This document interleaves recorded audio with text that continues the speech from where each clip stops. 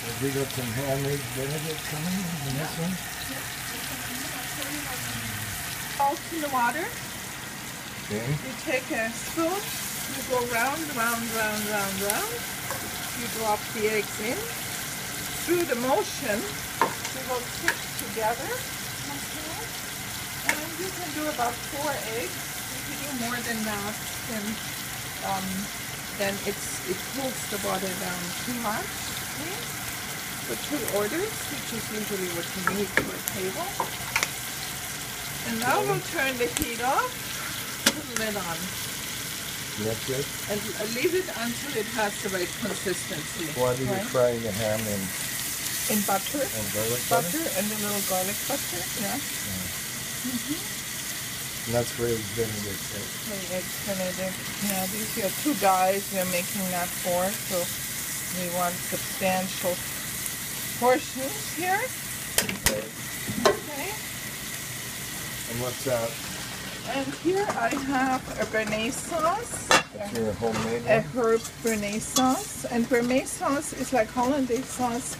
It just has some herbs added to it. That's the whole. a- That's a A difference. double boiler kind of? Yeah, but don't leave it too long on the double boiler because otherwise it just cooks it too much, right? Okay. And if the egg separates, if it separates, and even if it severely separates, Yeah. just take a little bit of ice cold water and Yeah. whisk it in and it will save it. We'll save the béarnaise sauce about five, six times. You can do that. Oh, yeah. Yeah.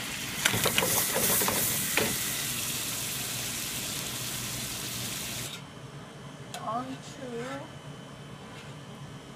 a uh, paper towel because we don't want a watery poached egg, right? Mhm. So Okay, here you nice. go. So here's the secret of good eggs Benedict. Yeah, toasted.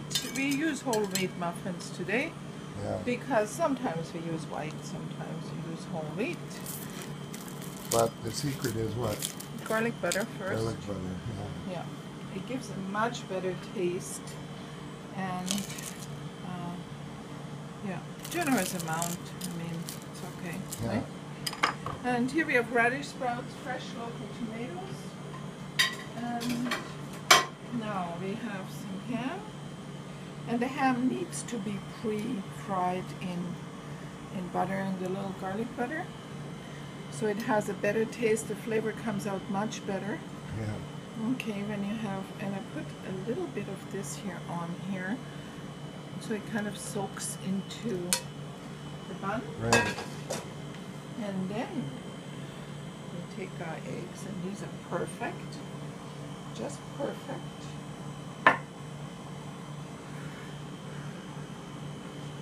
They're just nice and soft, but not too soft. See, they have a nice, right. you see it? Um, and here we have a wonderful béarnaise sauce. I put some dill in mine for today because I had fresh dill, whatever you have.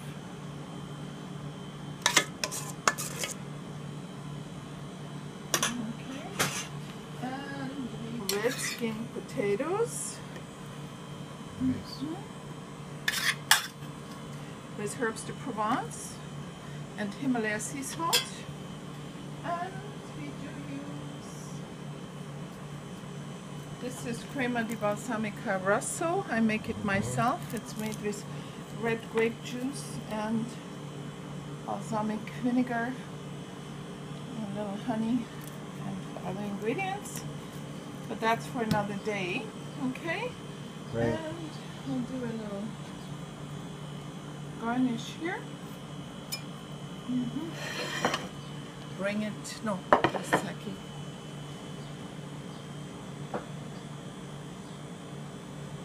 A little more vibrant.